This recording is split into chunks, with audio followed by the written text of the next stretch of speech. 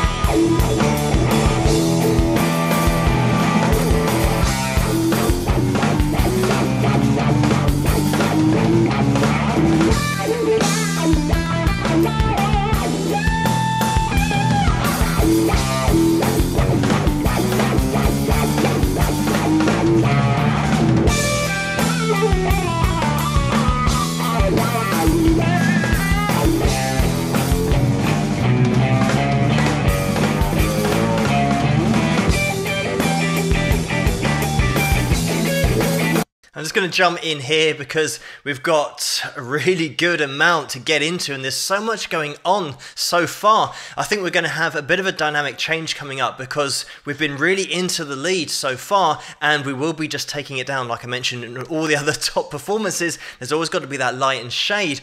But what you get straight away from this performance is the intro. He's not going to be going straight in with that vocal, so you can tell straight away it's going to be his own version, his own interpretation. In terms of the lead, obviously the control of that vibrato that we get with his bends, and it's really aggressive sometimes, which I love to hear, especially when you're playing something that's really based in that minor key. Even though we've got some major parts coming in, he does go towards that major key, but then sets back into that minor, and also throws in that natural minor sometimes as well, which gives it an even darker tone. So he really does stick to all of those minor lines. And it's interesting on this angle that we can see here, look at the action that he's got. This is something that comes up in a lot of my videos where people say that players have a high action or is seen as a high action.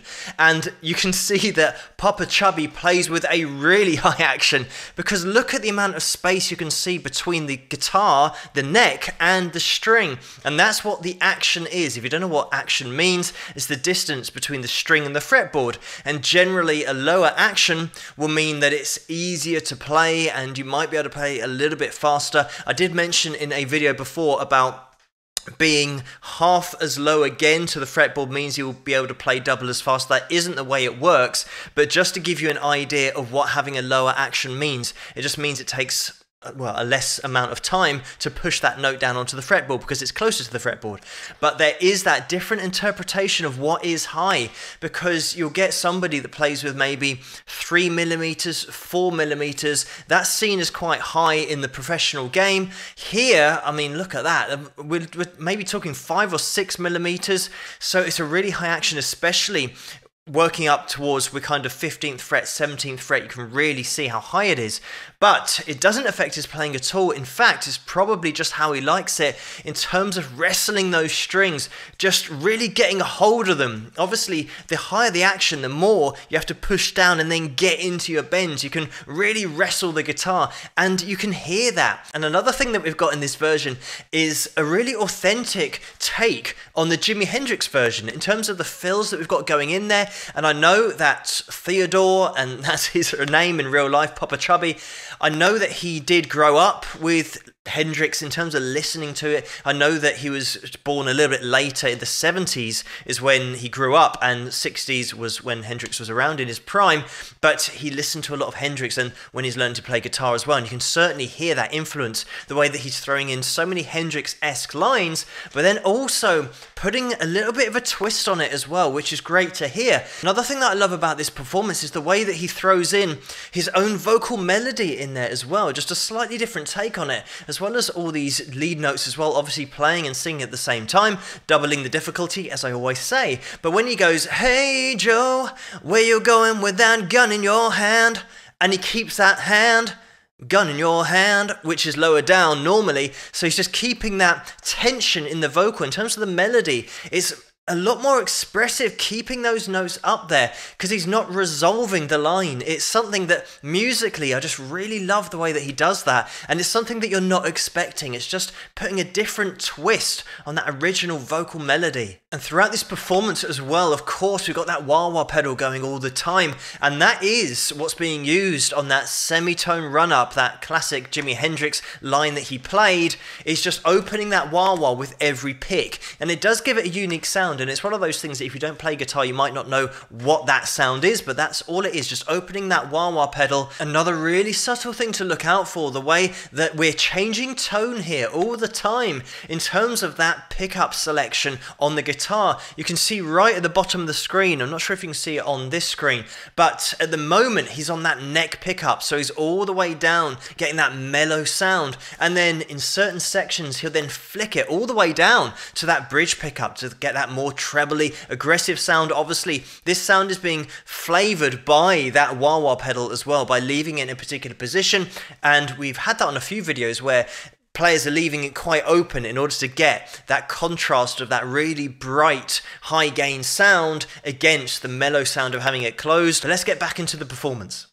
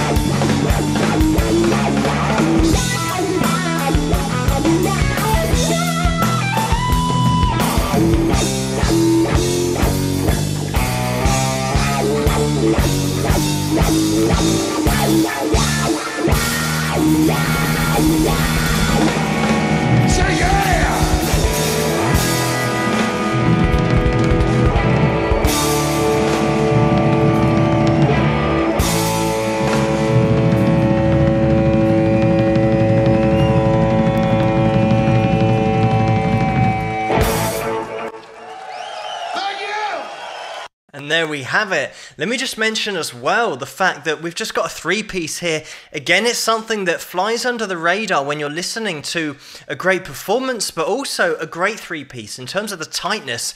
And sometimes when you do get a three piece, if one player is off, that is it. It's game over. You have to be tight. And a quick shout out to Chris Reddan and AJ Pappas on bass here, because without them being absolutely solid, the whole thing would fall apart. And it's always the case with every performance of every band. You've got to have that solid, tight rhythm section. But again, getting into the performance, we had that dynamic change, that breakdown that I said to expect because it always happens with the top bands. We had the bass totally dropped out. We then had the drums as well dropped out apart from just striking the sticks together in order to keep the timing and to get everyone to clap along. So we really just brought it down to the guitar. And who was looking out for that pickup selection? Because we went into one solo section where we were on that bridge pickup, and then within a couple of seconds, he was back on that neck pickup just to get that different sound just to make it more interesting with his lead.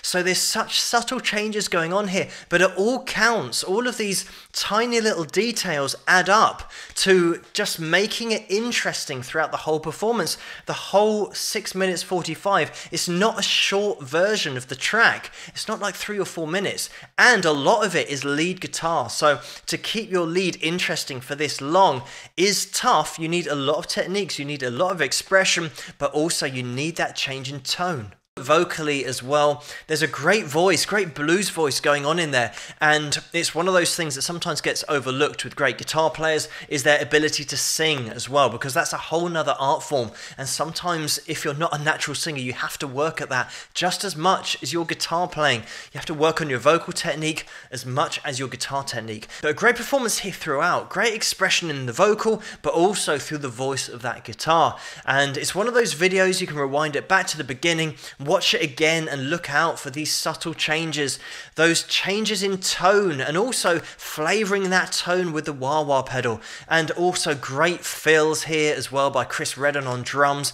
Just absolutely solid throughout. And also that bass, which is AJ Pappas, who's absolutely laying it down for the whole performance. Like I said, they're just as important to the track as Popa Chubby and his singing and his lead guitar. But thank you so much for suggesting this video for me to take a look at. Keep those suggestions coming in the comments below. Let me know what you guys think. And if you like this video, please give it a thumbs up and subscribe. And I'll see you guys at the next one. Rock!